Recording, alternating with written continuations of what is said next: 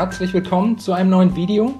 Heute zeige ich euch wieder mal ein XXL-Rezept und zwar backen wir uns heute einen riesigen Oreo-Keks.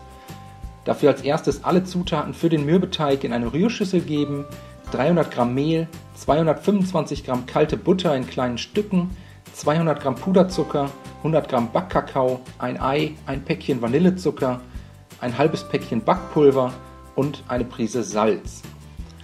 Das Ganze jetzt mit den Händen verkneten, circa 4 bis 5 Minuten und so lange weiter kneten, bis sich alle Zutaten gleichmäßig verteilt haben und ein glatter Teig daraus entstanden ist.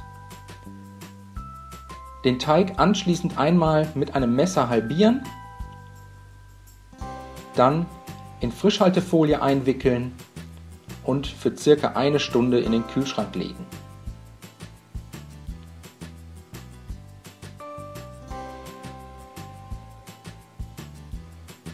Nach etwa einer Stunde den Teig zwischen zwei Bögen Backpapier einschlagen, mit den Händen etwas flach drücken und danach mit einem Nudelholz circa einen Zentimeter dick ausrollen,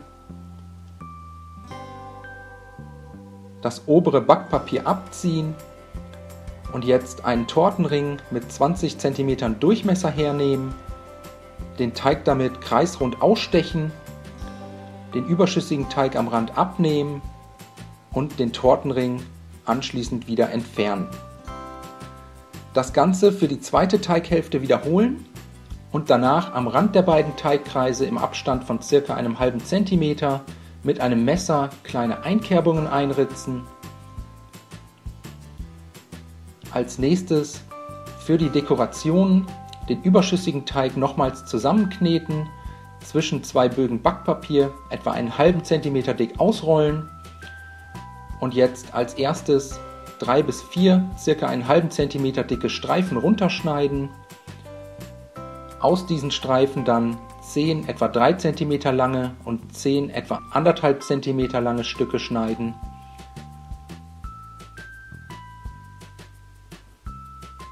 Außerdem ein etwa 6 cm langes Stück für die Dekoration oberhalb des Schriftzuges mit jeweils zwei der kleineren Stücke zusammenlegen und zum Schluss noch einen längeren Streifen für die Umrahmung des Schriftzuges zusammenkleben. Als nächstes kümmern wir uns um die Buchstaben. Dafür zunächst ein paar etwa 1,5 cm dicke Streifen vom Teig abschneiden, aus diesen Streifen kleine Quadrate schneiden und jetzt für die beiden O's als erstes die Ecken entfernen und dann mit einem Strohhalm die Mitte ausstechen. Danach für das R unten und an der rechten Seite ein kleines Dreieck herausschneiden. Oben rechts die Ecke entfernen und mit einem Zahnstocher ein kleines Loch eindrücken. Danach fehlt nur noch das E Dafür mit einem Messer viermal einschneiden und mit einem Zahnstocher den überschüssigen Teig entfernen.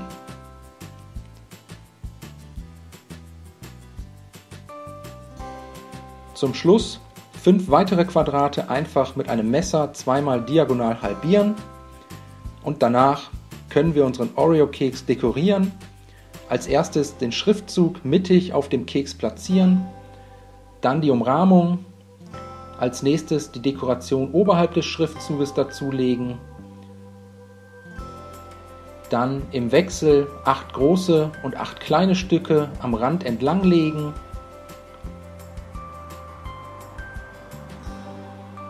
Und zum Schluss noch die ausgeschnittenen Dreiecke auf dem Keks platzieren.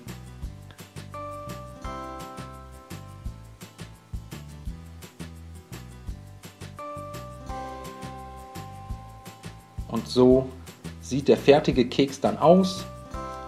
Danach müssen wir die beiden Kekse nur noch abbacken, nacheinander im vorgeheizten Backofen bei 180 Grad Ober-Unterhitze für circa 25 Minuten.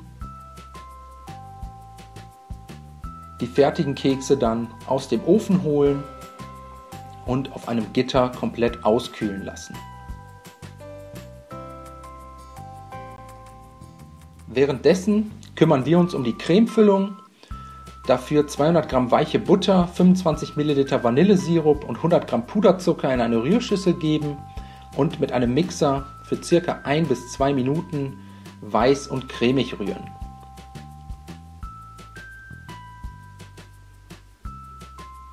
Wenn das erledigt ist, 100 Gramm geschmolzene weiße Schokolade dazugeben, die Schokolade zügig unterrühren und für circa 2 Minuten weiter mixen, bis sich alles zu so einer weißen und cremigen Füllung verbunden hat. Die Creme anschließend mittig auf den unteren der beiden Kekse geben, gleichmäßig darauf verstreichen und dann den oberen Keks vorsichtig auf der Creme andrücken Danach muss die Creme nur noch etwas aushärten. Am besten stellt ihr den Keks dafür ein bis zwei Stunden in den Kühlschrank. Und so sieht das fertige Ergebnis dann aus. Hier nochmal ein paar Original Oreo Kekse daneben. Ich hoffe, euch hat das Video gefallen. Schreibt mir wie immer in die Kommentare, was ihr als nächstes sehen wollt. Ich wünsche euch viel Spaß beim Nachmachen. Bis zum nächsten Mal.